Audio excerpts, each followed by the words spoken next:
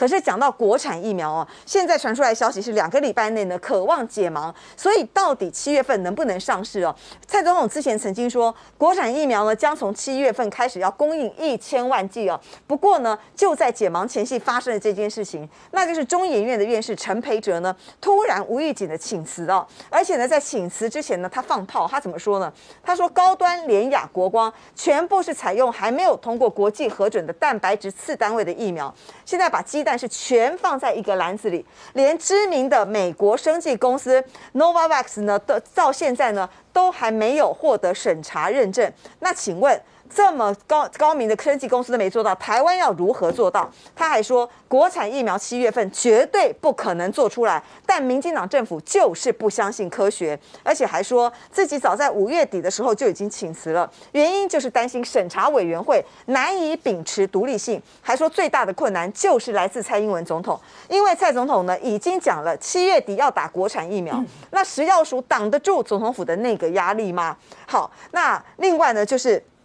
这个呃，日本外务大臣茂命茂木敏充哦，他在这个呃美呃日本国会的时候呢，被这个日本的议员问到哦，说你为什么只给台湾一百二十四万剂疫苗，也太少了吧？结果呢，这个茂木敏充呢，当时呢其实有做出一个回应哦。不过之前我们中央社确实有报道说呢，这个茂木敏充的说法是，虽然台湾的国产疫苗将在七月上市，但这个之前呃可能会疫苗不够用，因此也会好好的。这个呃，考虑来提供疫苗给台湾哦。好，抓到这一点呢，网友马上就说：哦，日本外相直接回说，因为台湾政府告诉他七月要施打国产，所以只需要少量的疫苗应急就可以了。这就是为什么日本 A Z 只来一百二十四万剂的这个原因哦。不过呢，在经过这个原文的翻译之后呢，日本外务大臣茂敏从原本的说法其实是考虑到台湾还正在进行七月之后可以开始生产的这个准备啊，生产疫国产疫苗的准备。所以呢，他判断台湾目前有紧急的需求，所以呢，就先给台湾这一百二十四万剂的这个疫苗了哈。但是请教他这个学委了，其实大家最关心还是国产疫苗传出解盲的前夕哦。这一位中研院的院士陈培哲呢，他不但请辞，而且他还这个呃放炮说呢。这个呃，国产疫苗的审查委员会恐怕难以独立，因为蔡总统说已经七月底要打国产疫苗了。那请问你食药署能够挡得住蔡这个总统府的压力吗？而且还说七月国产疫苗绝对不可能做出来。但是现在呢，这个审查委员会的召集人又说正在努力的慰留这一位院士，这到底什么状况啊？其实陈培哲院士他这个时候请辞，这个哈，有时候是一个学者、一个一个一个研究者的一个坚持，然后这个我们等下再来谈呢。嗯。我讲说，台湾现在目前为止，哈，我一直很喜欢对到去年整个世界很多国家的对抗疫的一些经验的哈，像英国、美国过去一年它实施社交距离，还有实施的一些一些管控疫情的方式哈，对，最后看起来应该都是失败，嗯哼，到最后还是要等疫苗嘛，对不对？那说实在话，为什么英美会失败？嗯，你有发现英国跟美国很多人呢，他是不戴口罩上街去抗议啊？为什么你要封城啊？你要这个管这个管那个啊？对不对？那问题是这个情况跟台湾不一样啊！台湾的老百姓真的可爱，可爱在哪里？是由下往上自发的做好很多社会距离。当然有一些老鼠屎啊，哈，嗯哼，你可以看到那个口罩不戴，细给啪啪照一罐，然后今天还连来泡好细流啊。那我就是说，嗯，现在政府要做的就是所谓的资源管理跟规划。嗯哼，为什么？像在纽西兰，嗯，他就是因为做好了这些规划跟管理之后，老百姓对政府产生信任感了。嗯哼，那我是觉得说，最近可能。全台湾很多事情就是对指挥中心的信任感有所松动哈，嗯哼。那我觉得指挥中心你现在应该要把这个信任感抓回来，嗯哼。你维持民众对你的信任感很重要，对，这是共同防疫的那个。好，为什么这个信任感很重要？嗯，就像这一次的那个国产疫苗的问题一样哈，嗯，人工可以进几张哦，看一下五百人对不对？嗯哼。那当初的国产疫苗就是因为基于这样的一个想法嘛，对不对？嗯哼。那你说高端六月十号？解盲，联雅是六月十五号要解盲，对不对？那我们现在告诉你说，我刚才讲说这个陈培哲院士的话，他有可能是基于一种学者的一个坚持，嗯，对不对？为什么你知道吗？哦，这个紧急授权是在政治考量下，嗯的一个作为啊。我这一般疫苗的话，八到十年的研发期的话，你某科林全部三期人体全部做完试验嘛，嗯包括 WHO 在五月的时候有没有？他们都演绎的一个方向就是说。研议说未来有可能说这很多疫苗出来之后，你也知道说全世界现在疫苗，我们刚才讲了很多，全世界很多疫苗现在不够啊，对，包括你的生产过程还有制造过程的话，可能产生一些问题之后，你全球七十几亿人口啊，嗯，你如果这个疫苗要五六十亿的那个剂量的话，对，那你被做到当时，嗯，所以这个时候就鼓励大家药厂就说，你今天有制作的这个疫苗的功用的话，赶快出来。所以连 WHO 五月他都开这个会，都告诉你说，我现在先以二期试验的血清抗体的数值有没有？对，我来推测，可能三期试验才能得知的一个临床保护力。嗯哼，我用二期去推测三三期嘛，哈。那你接下来再慢慢去做啊。嗯，像我们的联雅，我就喜欢说，哎，联雅它就是跟跟那个什么，我们刚刚讲讲讲那个外国的那个 Novavax 有没有？它就一直在做一些试验。就 Novavax 在在做的过程之中有没有？对，联雅就是跟他们合作进行一些人体试验嘛，身体人体试验嘛。哦吼。所以我才跟你讲说，连 WHO 他都知道说，哎，我要做这些东西。可那可是陈培哲院士可能觉得说，你这种已经寄望于一种推测。嗯哼。他他口他讲的很清楚，他说，民进党政府就是不相信科学。嗯哼。因为他专注在科学上面。哦。他觉得说，我就是要人体三期试验，要看出这个。这个数字这样，那可是这个争议可不可以化解？当然可以化解嘛。我是跟你讲说，现现有的那个，我们市场上现在看听到的一些疫苗有没有？包括什么辉瑞、B N T、莫德纳。对。它这是属于 m R N A 的疫苗嘛？哈。那 A Z 跟胶生它是腺病毒载体的疫苗嘛？哈。那为什么大家就觉得说，哎，我今天做这些疫苗的测试的话，哎，不是讲一般的人，我要做大规模三体人体试验呢？嗯哼，我今天如果找右奇来说，哎，你符合你的条件，女性几岁，身体状况怎么样，对不对？那我要找的不是找你一个人来做啊，我是要找一票人来做啊。对啊，对不对？那一票人来做的话，我每个人要给你什么营养费？哦，对不对？补助费什么东西？你来做这个疫苗这个测试嘛，对不对？哎，迄钱压落去，迄是几啊百亿、几啊千亿的代志，你知道？哇哦！在这种情况之下的话，你怎么可能？好了，那很多很谨慎的人就告诉你说，你看，像辉瑞，他都告诉你说，嗯，辉瑞之前不是说十六岁以上才可以施打，嗯，他要放宽到十二岁，因为他后来慢慢慢慢累积了一些数字之后，他发现说。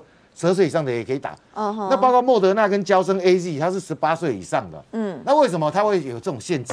因为他找不到一些更年轻的人来做测试啊。哦，对不对？那且看且走。而且你知道吗？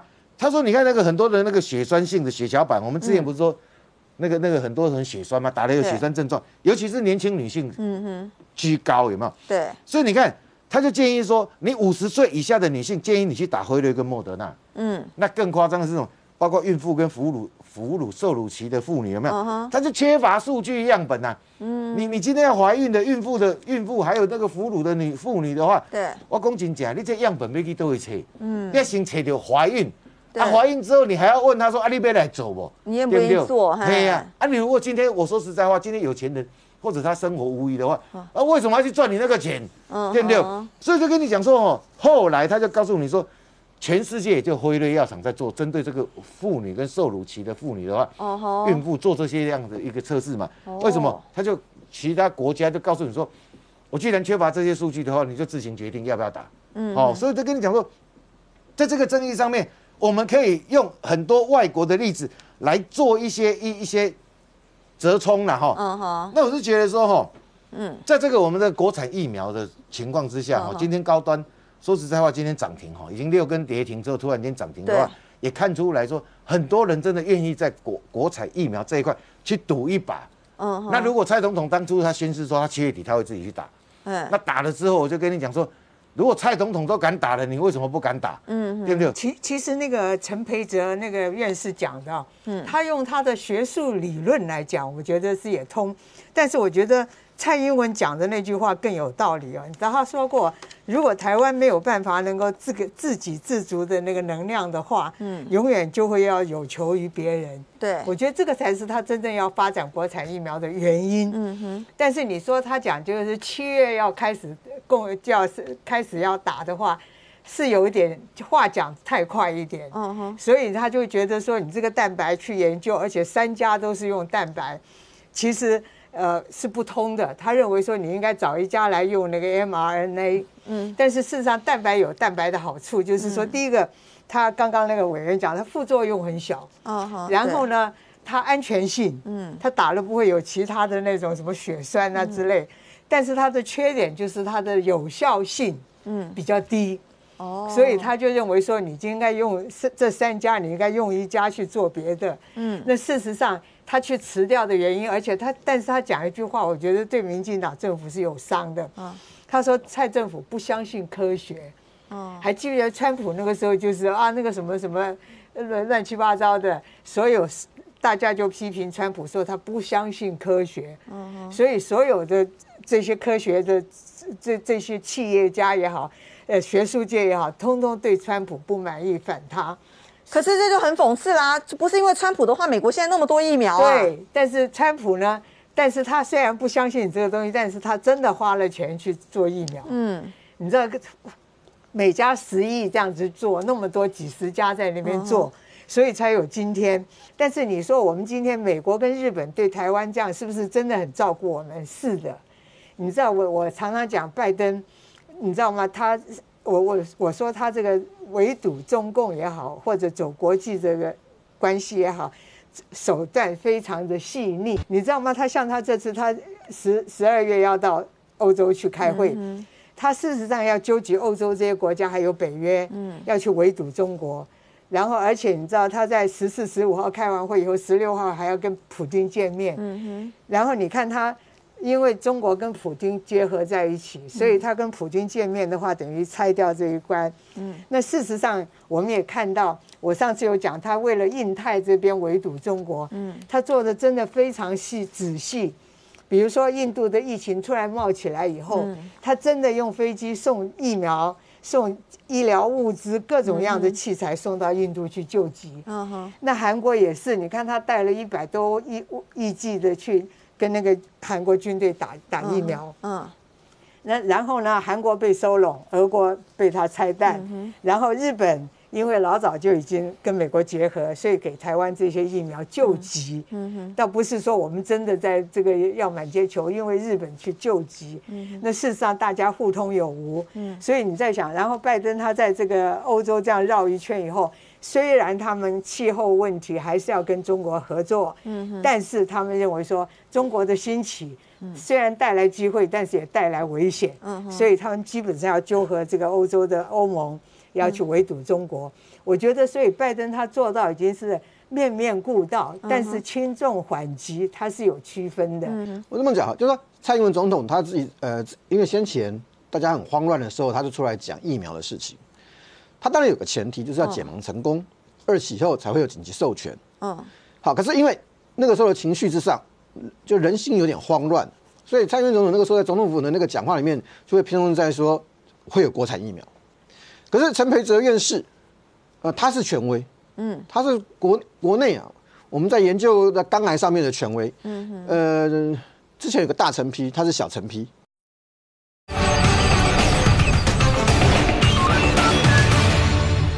因为有一个研讨会的关系，我跟那个陈陈培哲院士有一面之缘。嗯，但是你你作为一个阅卷者，嗯，但你等于是你要去审查这个这个这个解盲成的的东西到底 O 不 OK？对，你这时候跳出来讲也不适当，嗯，也不适当，因为没有人知道他会过还不过，你这时候做都不适当。可是既然要讲到这个事情，因为已经闹开来了，嗯，我们就直接看他弟弟陈炳辉教授。所以，因为陈培哲院士他们一家兄弟都非常杰出，嗯哼，他们从从这个医从这个医疗到这个在从就是怎讲，从医学到到科技到这个人文人文社会科学，陈家兄弟都是台湾学术界的名人。哦，那他的他的弟弟，嗯，好，你现在背板看到这是他弟弟，他用英文拼音，他叫陈炳辉，他是台大机械系的名誉教授。啊，然后他陈炳辉教授跟陈培哲院士呢，他们也有共同领域，一个是机，一个虽然是机械系的，一个虽然是是这个呃肝癌权威，可是他们在于为在于这种所谓的生物晶片方面，兄弟两个也有合作。嗯，所以陈培哲院士的那个发言，他最早是写脸书，后来接受联合报的访问。嗯哼，他弟弟就跑出来啊，就写了这一段呢，后来又删掉，为什么？嗯，因为人家跟他讲说亲情无价，不要吵。哦。可是你看陈炳辉教授怎么写？我记得我跟我老哥，陈培哲院士在两三个月吃饭的时候，他跟我讲说，我如果能够选择打那个 COVID-19 的疫苗，他会选择什么？Nova，就是 No，就是这个 Nova virus。这个这个疫苗呢，那时候过了没有？还没有。他说六月才会送，才会申申请这个紧急授权。然后，如诺诺讲哈，你要记着，陈培哲院士是权威。嗯。他两三个月前认为这个这个技术 OK，是用这个这个蛋白质次次单次单元的这个技次单位的这个技术。为什么在两三个月之后他会有完全不同的想法？这这个也很奇怪。可是因为陈培哲院士现在不讲话了。嗯哼。就说这都是他的看法。嗯。然后他弟弟。弟弟跑出来打脸哥哥，嗯，这一块是专业领域，我没办法评论。可是这是他们兄弟之间的一个对话，然后弟弟把把这段这段事情写出来。哦吼，那就回到一件事情，它是科学的。对。好，可是问有个问题，呃，这涉及到你要不要做国产疫苗？台湾能够做几种？嗯，陈时中陈部长就直接跟你讲。台湾的能量有限，我不可能三种都选。嗯哼，好，那剩下就是，那就是告诉你说，有一块呢，就是两个国产疫苗能不能经通过二期的考验，是审查委员会决定，也不是食药署哦，食药署不能决定哈。那个决定权决定权在审查委员手上，审查委员不会只有两个人，嗯，也不会只有三个人。陈培哲院士的讲法到底对不对？对，这个由学术界更专业的去评论。可是我要。我们要在意的是什么？是国产疫苗这件事情。在讲国产疫苗之之前，还有这次这，因为后面疫苗还会继续炒，它不会到现在就停停下来。美国这次不是发现它有八千万剂的这个这个多余这个可以可以挪出来的疫苗捐出来吗？嗯哼。布林国务卿布林肯在开记者会的时候，有一个国家也要接受他捐赠的数字，我刚才没有找到。嗯。那个国家叫加拿大。嗯哼。加拿大人口三千七百多万。对。你知道加拿大总理小小布小杜鲁道？买了多少疫苗，你知道吗？十三倍的人口不是？十三倍的人口，他买了四亿八千万，呃，四亿八千万的这个疫苗。嗯，不，我我买了十三倍人口的疫苗，我超前部署到哪里去了？哎，十三倍耶！对，一个人打两剂，他可以打六年半呢。嗯哼，那美国干嘛要把捐赠疫苗给加拿大？对，加拿大也不应该缺疫苗啊。嗯哼，他会他会需要。捐赠就表示他也缺疫苗，但他他买的是三十三倍的这个这个疫苗跑哪去？嗯，哎，你不会想说他贪污吧？不可能吧？嗯只有一件事情，交货来不及，对，或者货还没到，就买得到疫苗跟你拿得到疫苗。是两件事。解盲之后，它包括说你应该做完三期的这个临床有保护力数据之后，才决定应不应该给这个高端的 EUA 嘛，哈，就是紧急授权。那怎么看今天的这个状况出来？其实从这个刚刚记者会上，我们来听哦，这个结果很好哎。对，呃，我刚刚稍微看了一下哈，其实呃，我不晓得，因为最近其实很多专家在讲这个什么应该要做三期了。这些专家有些我认识，有些不认识。那我相信他们也都是专家，可是他们也许有一些资讯并没有做最新的更新。哦那事实上，现在的进度是因为因应这个武汉肺炎疫情，因为它来得太快。嗯。再加上现在很多国家，你根本没有这个环境去做三期。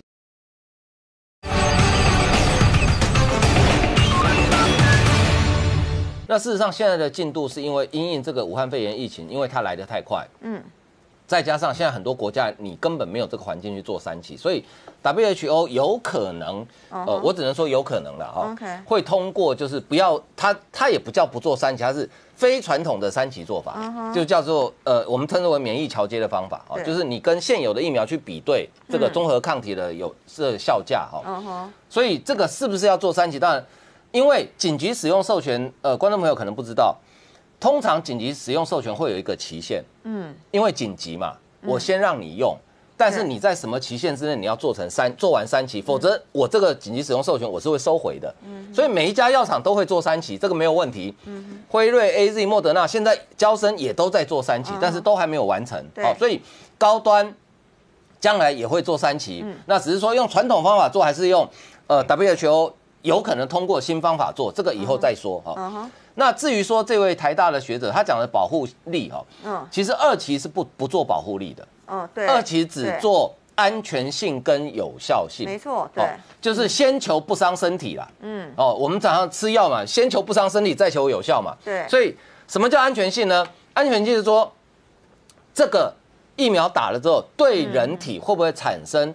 不良反应，这个包含所谓的严重可能致命性的不良反应。那照高端今天公布的数字，嗯，显然是没有，因为它有细项，包含像呃最多的不良反应，严重不良反应是没有，那最多的不良反应就发烧，而且很有趣，它有实验组跟对照组嘛，啊，呃，连打对照组的打生理食盐水的都会发烧，所以。这是心理因素，我要他有好几个，他说呃发烧、腹泻、疲倦哈，那我看比例最多的是疲倦的哈。对。那可是我就仔细看了一下那数字，就不管各种呃所谓的不良反应哈，照理说打生理食盐水应该不会疲倦，也不会腹泻嘛，对不对？阿扣林黑冷刚多脚拍巴豆捞塞嘛，某一点。或者自己心里会紧张。对，因为你打的人根本不知道你打的是什么东西嘛，所以打的人跟部长一样半夜惊醒。有可能，对，就心里太紧张了，压力太大啊。那所以呢，看起来是呃，为什么他要做三千呢？其实三千，因为这个是 WHO 当时在讨论紧急使用授权的时候，也给了一个数字。为什么呢？因为三千是有意义的。嗯，它是三千呢，是在。有百分之九十五的机会找出千分之一的严重不良反应，嗯哼，所以目前看起来没有严重不良反应，那稍微的肌肉酸痛、发烧有有一点点，OK，那呃这个安全性过关，看起来是过关，呃所谓的免疫生成性就是说我这个疫苗打了之后，我会不会产生抗体？对，哦这个很重要，嗯，所以对照组当然不会有抗体嘛，因为他打的叫生理实验水嘛，对，那实验组产生抗体，刚刚这个李思贤李副总讲。它就是其实整体来讲，因为它分年龄了哈，但是整体来看大概在百分之九十九点八了。哦，也就是说，这个疫苗打下去之后，嗯，它会产生抗体。嗯，好，但是产生抗体之后，当我遇到病毒，就是病毒进来的时候，我这个抗体能不能消灭它？对，这个很重要哦。这个就是后面他要交给中研院的，因为中研院。因为照食药署 EUA 的这个程序是这样，他所有的资料送到中研院，然后中研院的 P 三实验室要做一个叫做呃野猪抗体的实验，就是说我这个药产生的抗体能不能对付呃这个病毒株，这个是中研院会做，也不是由高端做，因为以招公信嘛。哦，好，这个做完之后，他就会告诉你说有没有效，嗯哼，有没有效？对，那有效。跟大家很关心的，大家现在耳熟能详，什么莫德纳、辉瑞保护力百分之九十几，然后呃 A Z 大概八十九到九十。对啊，大家都会在意，说我当然要知道是保护力啊。对，那这个保护力呢，你就必须等到三期至少做，因为三期的人数就要做很大。哦。哦，但是如果他是用这个免疫调节的方式的话，他就会去比对。哦。而且我要告诉大家一个观念，就是说，今天有个我们台湾人，他在美国打了两剂辉瑞回来，结果一样确诊。辉瑞够好吧？对，以色列也有案例啊，新加坡也有，就打完两剂辉瑞哦，都会确诊。就这个世界上没有百分之百的疫苗，但是我现在知道一件事情，就是目前 WHO 紧急使用授权通过的疫苗，中国的我们就不提了了哈，基本上百分之百可以保护你不会变成重症，不用住院。嗯哼，我觉得这个是疫苗注射疫苗的原始的意义，它不是保证你不会生病，但是你生病之后不用住院，在家可能呃吃药吃个药吃个退烧药可能就可以好了。我觉得这才是接种疫苗最大的意义。好了，这个我哈当然不是什么病毒专家，也不是疫苗专家了哈，小弟是伦理学专家 啊，这就专业伦理，我就来谈一下了。国内当然还有其他伦理学专家，也有男的哦。哦，像林火旺老师啊，啊，就是蓝营里面的，我们都是用他的课本啊，啊，那我们要站可以拿课本出来站，因为我也是用他的课本啊。好，讲到这个专业伦理了哈，其实哈，这个已经变得完全政治性了。我们承这个陈培哲老师了哈，他是的确是学界的先进，嗯，啊，这个都已经是院士了嘛哈。我也问过了非常多意见，他说这个绝对是大咖，没有问题，但是。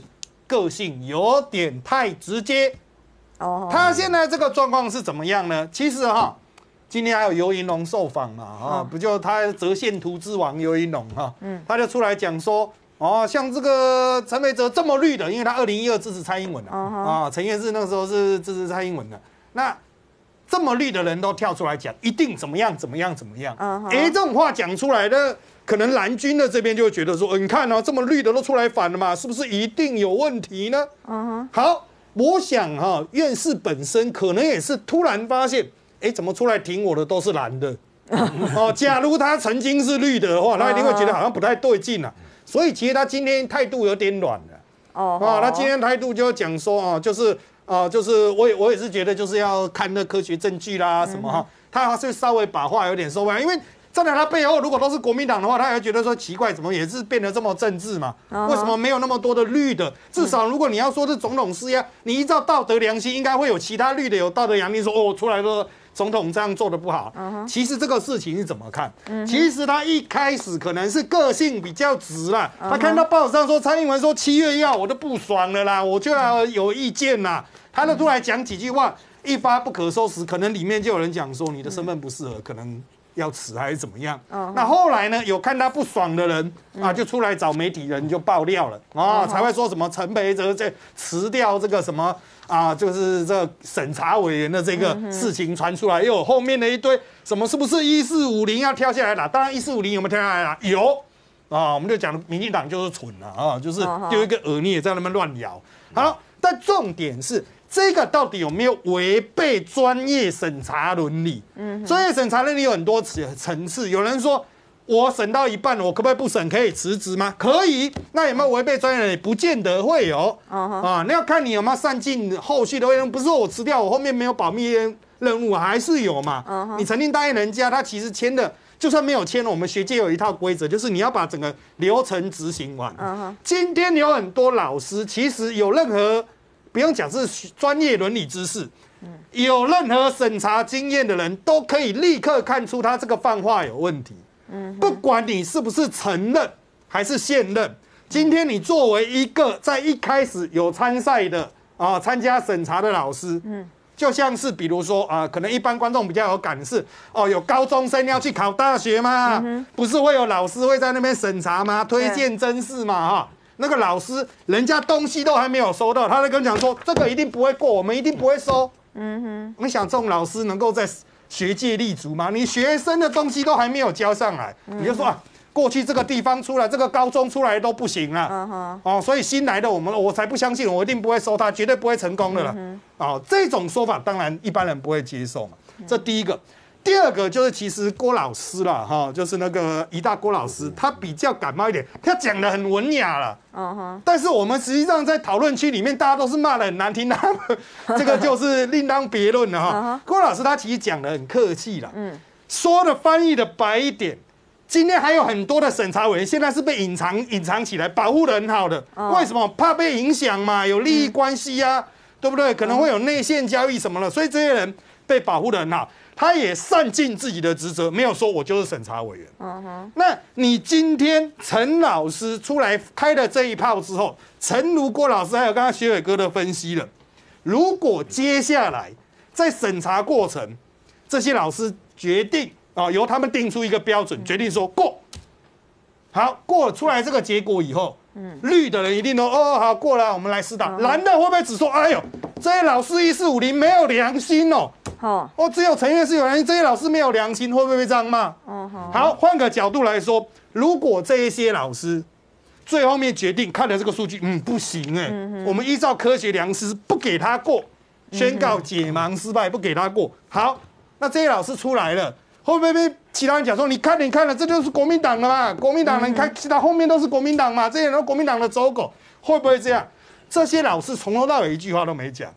就已经被人家贴标签了，不管结果是怎么样，都被贴标签。这就是我之前每一次在节目上讲了，国产疫苗被打到现在，大家都你是用颜色，不是用科学在看这个东西。所以回归我今天第一节讲那个话，知之为知之，不知为知不知。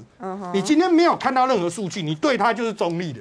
你要说蔡英文对我施压，也跟薛伟是讲了嘛？蔡英文对你施压，你应该做什么？不是说我辞职，我出来，我成神了，不对。蔡英文对你施压，正确学术的对抗方式，我还是审。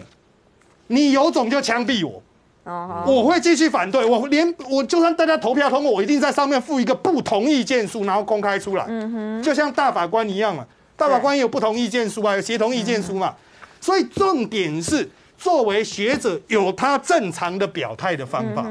那他显然陈老师跳出来啊，我认为这是现代学界最不能够接受的地方。不管大家是不是病毒学家，不管你有多少学术成就。你陈老师在病毒、在肝癌疫苗等等上面有非常高的造诣，我们都尊重。但是在学术专业伦理上、审查伦理上，我们认为实在是太不及格了。啊，我认为其实陈老师他可以冷静的思考一下，今天大家对他的批评不是什么一四五零啊，啊，也不是什么蓝绿的分别，有很多是学界，你像郭老师哪有什么颜色啊？郭老师这不会有颜色，他就是一个专责的学者，他都看不下去，为什么？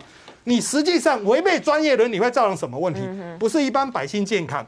违背专业伦理，伤害的就是学术圈本身，这也就是学术圈的人为什么会这样跳起来的原因。好，那当然啦，很快我们就会看到啊，他这个两家疫苗厂，他自身会先解盲，然后就送专业审查。啊，专业审查应该在月底之前会出来。对，我们都相信他们这些留下来的学者会做出一个非常依据专业良知的结论。但是啊，亡羊补牢，之前这些批评的人。看到这些兢兢业业学者做出一个结果的时候，能不能放下政治立场，一起来支持这些学者？你去称赞这个学者，对他们真的凭着良心做出一个很好的决定，能不能做到这一点？我觉得是一个算是最后的补救机会。不只是对于提出反对意见的医师、专家学者，也对每个政治人物来说，对，到了结果专业结果出来的时候，能不能一起给予学者尊重？我觉得才是最后的关键。不过呢，各方的说法当然都有了哈，就是说，就算你这个呃。二期这个解盲成功的话，还是有相当多的质疑了哈。比方说，你没有国际授权，没有办法出国啦；你没有三期临床，你就可以发药证，会很危险吗？还有药力到底能不能够对抗 COVID-19 哦？我想请教这个呃教授了哈，你怎么看呢？现在这个呃未来我们国产疫苗遇到的这些挑战，可能的挑战哈，那怎么样去解套呢？对，我想国产疫苗本来是是一个国家长程、中长程发展尤其是台湾在过去呃取得疫苗的困境上面，嗯哼，主导权。这大家都一定要主导，就勤策勤力去发展，发展这种国家疫苗的平台，让所有可能制造疫苗的人都来做这个。那现在问题就是说，我们看到第二期临床试验即将要解盲，那解盲到底是其中报告，还是期末已经结束的报告要做解盲？好，那这个动作就是为什么？因为第二期。的临床试验跟第一期不一样，说除了它安全性跟所谓的抗体浓度的免疫炎性之外，它有一个很重要步骤叫实验组跟对照组，就打疫苗跟安慰剂组。好，第二期临床试验必须要。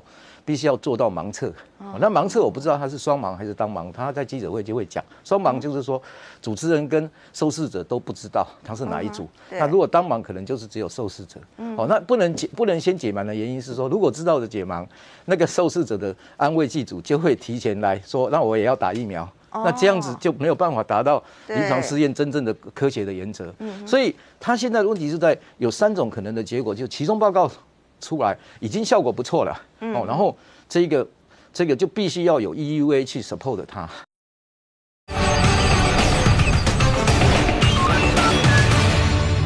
如果为了要控制疫情，当外来的疫苗如果不够，哦，那外来疫苗如果够，当然问题就比较少。对，外苗疫苗够不够？那你因为要保护疫情，国家本来基于需要，就有可能去用 EUA 去赶快去授权，因为它安全性如果没有问题，如果它的抗体的综合浓度也没有问题，那它当然就是有有可能去桥接啊。那那最后一个问题就是说，好，如果不做第三期，那如果他继续做第三期临床试验，大家就没有问题，因为要往下做了嘛。对。如果他不做第三期，大家就争议出来。那为什么一定要第三期临床试验？因为第三期临床试验还证明它的有效性。对。也就是说，它能不能切实降低症状？所以台湾之所以以前没办法做第三级的，我们就没 case 啊。我们要怎么做第三级临床试验？但是现在。也有可能有机会可以做第三级临床试验，不管在台湾，也不管在这个这个呃其他国家做，哦，所以这就是我我认为国产疫苗。呃，他目前来讲，呃，他遇到问题，但是遇遇到问题还可以解套啊。不过教授，我追问一下哈，那如果因为今天有媒体报道说希望能够拼七月底之前开始施打嘛，那如果以这个目前的这个状况来看，你认为七月底前的这个施打可能性高吗？不，这样完全看他们的 schedule。哦，如果他们已经在 EUV 下面授权了，哦，然后他要很快的这样的一个量产，你认为这是没问题？对我认为是有可能。哦，但是时间时程上，现在老实讲是有一点紧迫啦。哦，因为因为我们也担心啦，因为即使它真的是有效，哦，是这呃，即使它今天是安全性有，免疫炎性也有，可是它中间在 EUA 的过程中间，我们的 FDA 也要去审查，哦，审查过程中，他也要经过专业这些审查，说桥接的这个问题有没有问题？对哦，因为桥接完了之后才能量产嘛。嗯哦，因为你现在没有第三期临床试验的时候，你就必须靠桥接。那桥接的时候，但 WHO 已经开过会，说有些它为了国外的疫苗来衔接新型变种病毒，二期桥接、三接，国外暂时也都可以接受，只不过国外都的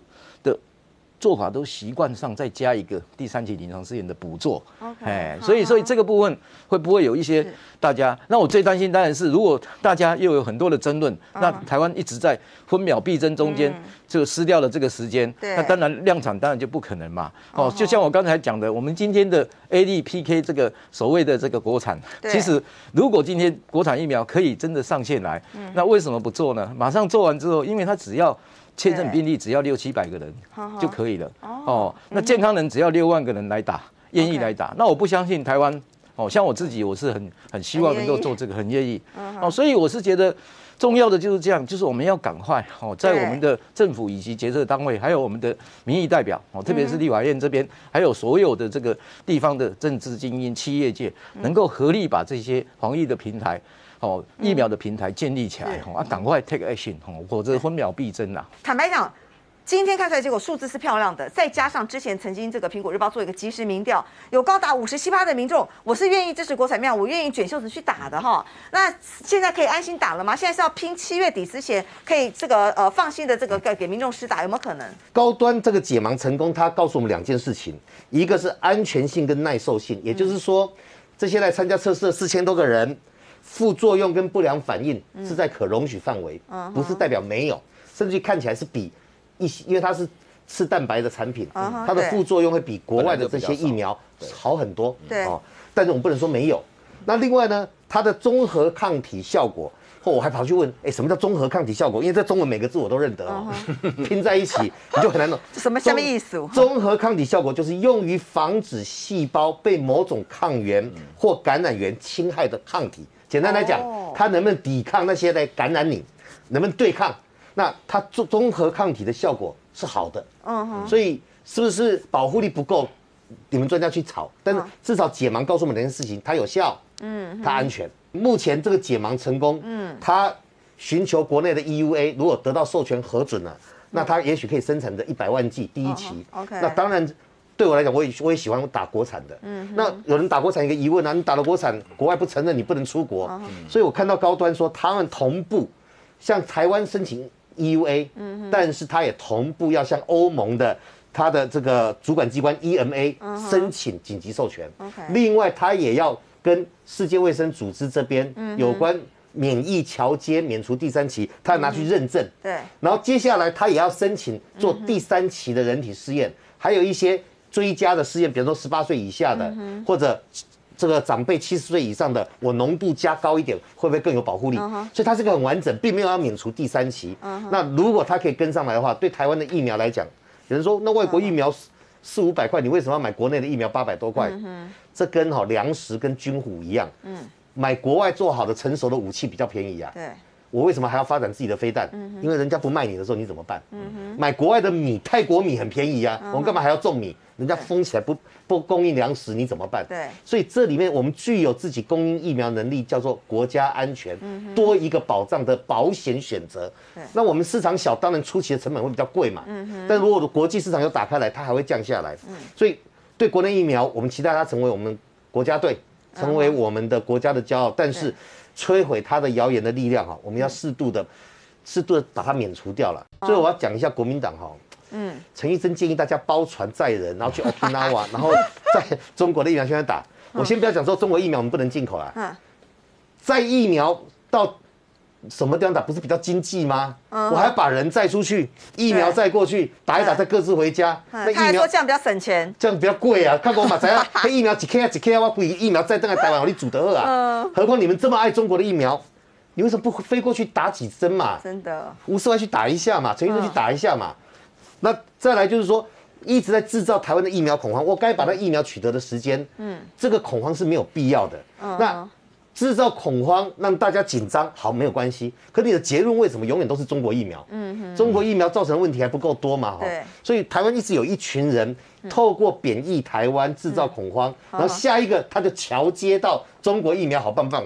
你如果下一步是接说政府你要加油多卖点疫苗，我还可以接受哦。或者说确保一下国内疫苗供应无虞，我也可以接受。对。为什么这些制造台湾不好，疫苗不好？下一个答案一定给你说中国好棒棒，对，吴思怀不是这样子吗？嗯哼，然后说什么民间捐赠疫苗、自购疫苗困难重重，哎，十七个单位只有郭台铭真的有送件，十六个都没送件，真的，到底刁难了谁啦？害死了谁？难道张晓忠那个拿一个那个影视中心的授权书那个有算吗？东方文化那可以算吗？对，所以为了吹捧中国，嗯，拼命的贬义台湾。却对中国阻挠台湾买 B N T 疫苗，一句话都不敢讲。曹新成骂得好啊，就算曹新成是新加坡籍的，骂得好，要不然你国民党一大堆家里有枫叶卡的、绿卡的，都卖出来恭维。真的，所以我我认为现在台湾面对这个防疫。慢慢会稳定下来。哦，台湾就是委屈嘛，就买不到疫苗，这是事实嘛。更何况现在你说疫苗竟然变成了大国博弈的筹码了。其实不止台湾委屈，现在全世界都在抢疫苗，都在买疫苗，大家都在拼。嗯，那是这一波呢？我们说。现在疫苗已经成了大博博弈最重要的关键哦。最近拜登可忙的哦，你知道多忙？你知道吗？很多美国人看到这个空军一号出巡哦，心中都好振奋哦。可是啊，大家看到这么大的机队出巡，好振奋，对不对？对啊。很多人都不知道哦，这很烧钱呢。烧钱？多烧钱？你知道吗？拜登总统只要出访一次哈，他起跳的单位是美金两百万。出房一次起跳两百万最少就是五千多万的台币。然后如果说在国外待很久呢，每天越多他就花越多钱。出去要不要车队？要啊。飞机要不要？那当然要。特勤组要不要？一定的。然后但是出去有一他他一定的功能。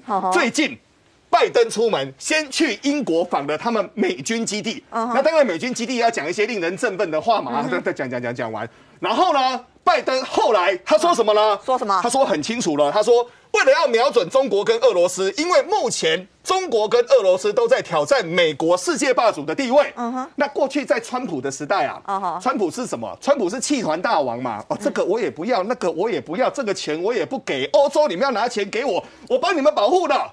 拜登他学什么出身？外交。外交。三十多年外交的一个老将，一回来登高一呼，说什么呢？美国回来了。哦，然后上次不是要捐八千万剂吗？这次说八千万剂，我知道大家不够了，再多一点，再多一点，买五亿支，五亿支疫苗，买五亿支美国疫苗，要赞助各国，哇，口气够大吧？哎呀，这个善事啊！可是重点要先买得到，因为现在哦，真的是要买得到。为什么要买得到呢？我们举例哈，全世界。最早做出疫苗的，你知道是谁吗？谁？俄罗斯。俄罗斯。俄罗斯它有一个疫苗，它叫卫星疫苗。这个卫星疫苗沿路一直走，一直走，走到现在已经卫星五号了。哦然后呢？可是俄罗斯到现在呢，还挺怪的，一天哦，还感染了一万零四百零七人。哦目前全国一亿多人，总感染人数是五百一十五万人。好吓人。所以俄罗斯的卫星疫苗到底行不行啊？但是我们刚好跟各位说过哦。俄罗斯人家感染数是五百多万人，对不对？对。他死亡数是三百九十九啊。哎。我们台湾现在才感染一万多人，我们死亡数也是三百多啊。哦。所以疫苗的部分的话，有效没效一回事。今天三重发生一件不好的事情。哦。有一位医生，嗯，医生、医事人员，结果呢，他也有打疫苗。嗯哼。打完疫苗要十二天到十四天，对，才能够才能够得到保护力。对。他打疫苗六天。六天。然后呢？就因为，就因为他现在他就缺氧啊，回天家了啊！对呀，我们只要省一名医护，好辛苦哦，听到都觉得很难过。所以，俄国他们的疫苗到底行或不行，不知道。可是现在抢疫苗抢到什么地步，你知道吗？越南说不行也得行，为什么呢？越南现在去拜托俄罗斯，嗯，你知道拜托俄罗斯要干嘛？你知道吗？要去代工俄罗斯的疫苗。他说他们的卫星五号我也要买，哦能做的我都要做。你知道一。现在越南发生什么事吗？什么事？越南他们全国人口是九千八百万人哦，他们居然全国只有两百九十万剂目前的准备啊！哇，这么少啊！我们台湾未来要打一百万剂，耶，我们就一百万剂要快速的打，那当然我们希望能够能够大家能够公平来要造册了，不要又出现那个什么贵妇团呐、什么科技董事长团，那令人太生气了。但是越南他有没有买？买啊，拼命买啊！对总共订了一亿两千万剂啊，不到货啊，他货他就是不到啊。嗯，所以这个是目前越南的一个状况哦。对，越南就已经在扯了，能买他尽量买，能做他都要代工哦。泰国更扯，泰国还扯，为什么泰国更扯？你知道吗？泰国最近出了一个消息，哇！各位看到这个，不要以为她是一个网红哦，这个是泰国最小的公主，她叫做朱拉蓬公主。哦，泰国小公主。对，她是现在瓦吉拉隆功国王的最小的妹妹。然后我们说，哦，泰国的政治真的是太黑了，你知道泰国公主发生什么事？你知道吗？什么事啊？她居然绕过了政府哦，嗯，直接去跟中国买疫苗。哦吼。然后买完之后，泰国的卫生部她完全不知道哦。那完全不知道怎么办？怎么办？怎么办？嗯。你是泰王的小妹妹啊，怎么办呢？小公主怎么动啊？就地合法，啊，干脆让她就地合法了。就地合法，所以朱拉蓬公主自己去买国药疫苗之后，自己买对不对？后来国王自己帮她发国王的所谓的许可认证，但好笑了，哪里好笑？你知道泰国他们的疫苗啊，谁做的？你知道吗？嗯，谁做？国王做的。国王自己做疫苗，听好哦，不是国王哦，我很好心，我做一间疫苗来给大家用，不是哦，不是。国王我自己投资，瓦吉拉隆功他自己投资，投资了一个厂之后，这个厂呢，他有办法做 A G 的疫苗，但这个做 A G 的疫苗呢，分给全世界来用，赚大钱，赚大钱，然后泰国他自己疫苗不够。啊，泰国自己疫苗不够。泰国他自己疫苗不够，那泰国自己疫苗不够怎么办呢？所以公主她也自己去买。所以我们说哇，泰国的政治真的是水好深呐，这个真是太麻烦了。但我想到，天哪，哇，其他龙宫自己居然能够生产 A G 疫苗，金价是厉害啊。嗯。但是我们说，为什么疫苗要国造？嗯哼，为什么？当然。现在全世界两个国家那个疫苗是多到满出来，一个是日本，一个是加拿大。对。结果。又起，我问你哦，如果你的疫苗多到满出来，你会不会想要自己做？不会吧？不会啊，都都到满出来了，我干嘛要自己做呢？结果呢？日本自己的基因公司，他们说说什么呢？嗯，他们说，如果疫苗不能够自己生产的话，哦，国家未来会很悲惨。悲惨？为什么会很悲惨？你知道吗？我问你哦，你这次买够了，嗯哼，那下次呢？明年呢？对。后年呢？如果未来新冠肺炎成为像所谓的感冒一样，每年每年都来一次，你要不要自己的疫苗？当然要啊！所以目前日本哦，之前还想说，哎呀，国家很有钱，就拼命买。日本现在有三家公司哦，它也要投入疫苗的一个研发。哎，这里面好笑了，哪里好笑？有一间叫做 Agents 哦，Agents 这家公司呢，他就说，嗯，自己做疫苗是对的。对，但是自己发展技术又太慢哦，所以怎么办呢？来台结盟找救星，来找台湾。对，然后重点是他来找台湾，他们还讲这句话，我觉得这句话很好笑。哦，这句话说，我们如果在台湾的话，就是日本国产，但是呢，台湾生产。太好笑了。哎，不要讲好笑哦，机会来了。哎，大机会来了，为什么呢？之前高端疫苗不是在那边沸沸扬扬说到底情况怎么样吗？对，台湾还特别做了一个大二期。什么叫大二期呢？过去二期只要做五百人，这次我们把它拉到三千七百人到四百啊到四千人，我们就希望这次能过嘛。对，你猜双盲过了没有？过了没？过了，过了，超厉害！陈时中部长已经说的非常清楚了，双盲结果只要通过之后，后面加上许可但书，我们就能够去赶快开出所谓的紧急许可证。所以目前这一波双盲通过，对于台湾未来非常重要。但是这次高端解盲的过程当中，我们说这个又回到了之前所说的大国角力啊。又回到大国角力，为什么呢？我们跟各位说过很多次啊，因为我们台湾的国力，因为我们台湾的所谓的科学的计划跟过去的研究，我们连病毒株。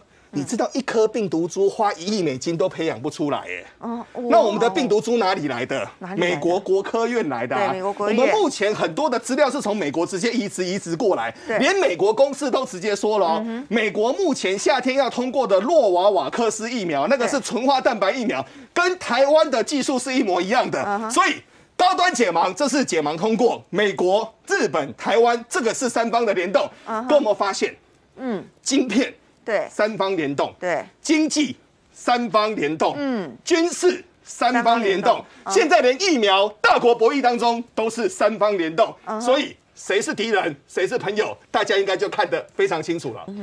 但是听说这位院士他自己也承认了，现在国产疫苗使用的这个这个技术哈，叫次蛋白次蛋白哦，对，做出来的疫苗，嗯，是效果最好，副作用最低的。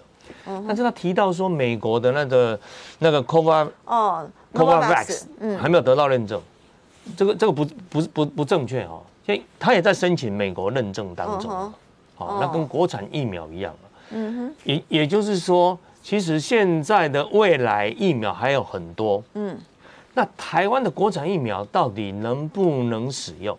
有的人说啊，你台湾的阿贝蒂的国际认证，国内认证都还没，怎么有国际认证？嗯，那为什么国内认证还没有？都还没解嘛，还没做出来嘛。如果台湾的疫苗做出来以后，嗯，我认为国产疫苗也要尽快去申请国际的认证。嗯，那这一次的那个 WHO 世界卫生组织，它手边准备要在认证的疫苗大概有几十种。未来研究中的疫苗可能有几百种。对。因为全世界疫苗荒，为什么台湾买要抢啊？而且抢得很痛苦、很困难。世界人口有七十亿啊，你要达到大概所谓的免疫状，也就是安全状况要打六成啊，要打四十二亿。那一个人打两剂要八十亿剂的疫苗。嗯，你你你你看得到的疫苗，你进来来做大概做二十亿啊。嗯哼，所以你根本产量真的是大家用抢的。嗯，好。那国产疫苗有没有必要做？这另外一个问题嘛。哎，这个国民党当时强烈要求要做的。对啊。国民党的蒋万安啊、费鸿泰啊，他们当时提出两点：第一个，政府赶快拨钱，嗯，要政府拨钱给这几个厂商，嗯；第二个，要求要缩短它的测试时间，哦，要不然你做不出来。那你要求政府拨钱给这些厂商，那那你也炒股票嘛？嗯，那你跟这些厂商也有也有勾结嘛？嗯哼，你不能用这种角度去去去乱讲话嘛？对。川普当时拨了一百多亿美金给美国的几美国的几大药厂，嗯，他也是在赌博哎，他根本不知道哪一家做得出来，嗯，他只是以你过去的一些绩效能力，他用挑的，嗯哼，我先给你钱，我也不知道你做不做得出来，但是有迫切的需要，台湾的国产疫苗其实当时原本朝野是有共识的，就是我们为了国安国家的那个那那个状况，我们希望能够掌握自己可以生产疫苗嘛，对。好，那现在我们的疫苗即将要出来了，要拼命的唱衰它。嗯，现在都还没有讲，就就说就说这个这个不能使用。那这个院士他讲的道理，其实他等于有一点自相矛盾。他说总统讲七月就要打，那食药署挡得住压力赶不过嘛。那你现在就出来给国产疫苗泼冷水，说这个不能用，那到时候人家通过了，那那那就有有些人会觉得说，哦那谁敢通过啊？啊，一个月一一个一个一个评审已经辞职，说这个这个绝对不能用，不能过。对，你应该看到他的资料嘛，就就算你今天觉得这个东西有问题，你觉得它不好，如果如果我是评审，我会等你把资料给我拿出来看一看。嗯那我这才是科学嘛。科学就是我要很明确的指出为什么哪里你不对，哪里做不出来，为什么这个疫苗我质疑它。这个这个这个才是科学啊，而而不是像现在泼脏水一样，大家骂来骂去。那你真实的事情是怎么样？第一个，疫苗如果无效，没有人敢打。嗯，打无效的疫苗比没有打还危险。为什么？因为你会觉得你你你你有抵抗力，真的，你就你就放松你的那种防疫嘛。那是可怕。所以打无效的更危险哦。对。谁敢冒这种险？台湾现在还没有出现一种状况，但国外已经有出现，就是打了疫苗还确诊。嗯，是不是这种？国外有很多这种例子哦。很多中国疫苗特别多。哦，像智利，智利全面打中国科兴疫苗，结果确诊人数破纪录。对。哦，现在如果台湾呐，如果以后你打国产疫苗，嗯，一堆人打了还得病，还得谁负责？嗯，政府要负责呢，总统要负责呢。嗯哼。所以无效的疫苗没有人敢打了。嗯哼。那台湾的疫苗会不会取得国际认证？我认为要。嗯。啊，例如最近日本最近就开始准备要发一些商务的所谓疫苗疫苗签证。对。啊，因为经济活动还是要慢慢慢慢的放松嘛，那他就会认定说你必须打过哪几种疫苗，他才给你入境，嗯，给你签证。所以台湾的疫苗也要去争取那种国际认证。那 WHO 也注意到这一点。对。啊，就是说现在的那种紧急状况，其实他要求的是疫苗有效无效。好，那其实最重要就是一起二起了。